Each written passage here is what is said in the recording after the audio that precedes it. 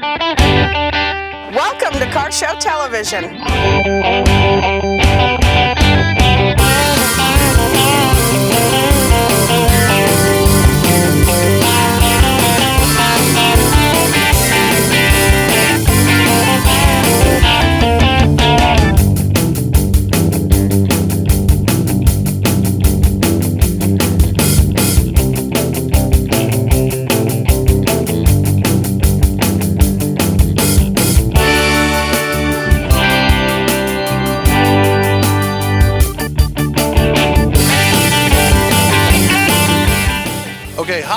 Jeff Abbey.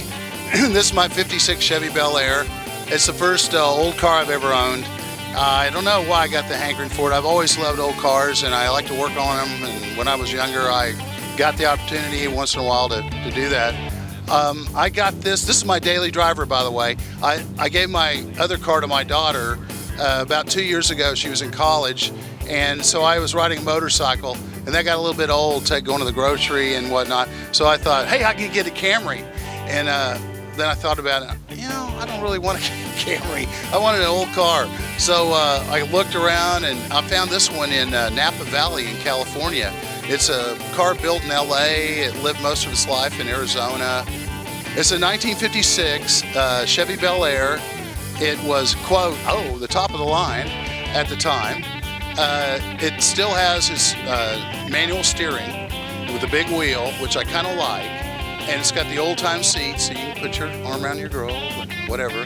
But then the guy did some crazy stuff, like he put about 800 watts of audio power in it, a subwoofer, and all this stuff I don't really use, but it's there if I need it. And then he uh, did uh, put AC in it and electric uh, windows. It's got powered brakes with disc.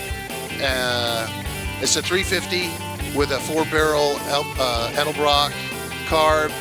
It's uh, got headers and uh, when I got it, pretty much nothing worked. The air conditioning didn't work, the windows didn't work, they were electric, they didn't work, the radio didn't work, name it, the horn, everything. So I was, I was a little bit frustrated, but then I thought, hey, I want a project. What can I do? You know, uh, and it was kind of fun. So uh, I started doing the little things and uh, got a little more serious about it, and uh, you know, worked on the front end some, and I had the uh, the engine, you know, slightly modified, and uh, I just did some minor stuff to make it, you know, what I want to drive it every day, and I have a good time with it. I get in it, and I feel like, you know, back in those days when we were kids and you know things were just easier and more fun and you always just were happy. You had a smile on your face. So that's kind of what this car does. It, it gives me a big smile and I just uh, enjoy having it. And uh, hopefully I'll have it for a little while and when I'm done with it I'll take care of it and next guy will get to have it and they'll have a good time too.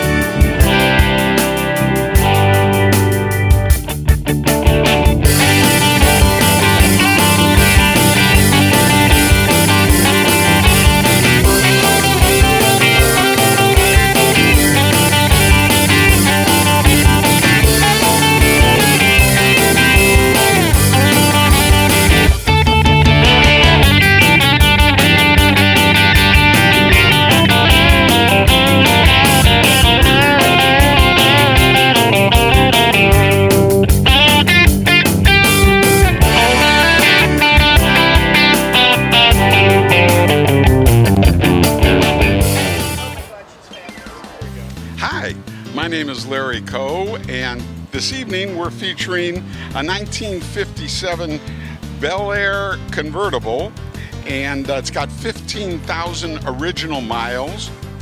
Uh, it's got the 283 with a four barrel. The only thing we did on the car uh, that is not original, of course, we put air conditioning in it because we are down here in sunny Florida. And if you notice, we also put out our menu, and this is an original menu from Burger Haven in Michigan, where we're from, and it has the original prices of the hot dog, hamburger, and fries. Well, the 57 Chevy was, uh, it rode pretty good. Uh, the 58s had a little, uh, uh, they secured the sway bars. In this one here, this came with two sway bars. it rides real nice. The engine, of course, in the car is a small 283 with a four barrel. It's all original and uh, it's quite nice. Now, if you remember, all you young guys, the 57 had the big front where we would put our beer and keep it cold. Now, also, since we have uh, the, the sound, I am going to put the radio on, and if you stand in the front, in 1957, we used to go to uh, the drive-in restaurant, and we used to jitterbug in the front, and we put the speakers underneath the fenders. So we would actually jitterbug with Claudia, see, and we would jitterbug at the uh, at the drive-in restaurants, and and the sound would be coming right outside of the fenders. Kind of neat. The owner of this car had this car in storage for about 28 years, and uh, he really took good care of it and had it in many shows in New Jersey. Hey guys, this is Alex at Car Show Television. You know, South Florida is really a mecca for the collectible, antique, muscle car, modified, drifting car area. And man, we are just so blessed to have so many car shows every weekend here in South Florida.